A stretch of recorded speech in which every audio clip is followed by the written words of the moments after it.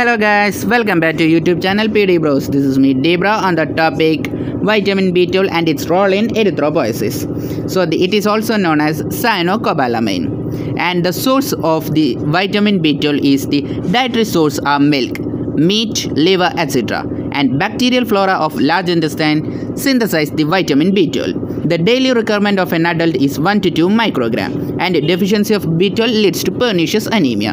Now for the absorption. And the vitamin B12 is also known as extrinsic factor or anti-pernicious factor.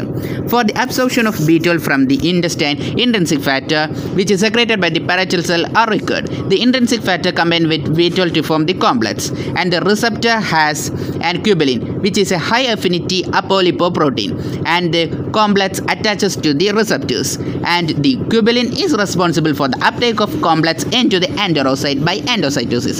After absorption, the B12 is transported in combination with transcobalamin 2 and B12 is stored in the liver and the extrinsic factor and intrinsic factor together called the hematinic principle. And now for the actions, the B12 increases the DNA synthesis and decreases the maturation time of RBC.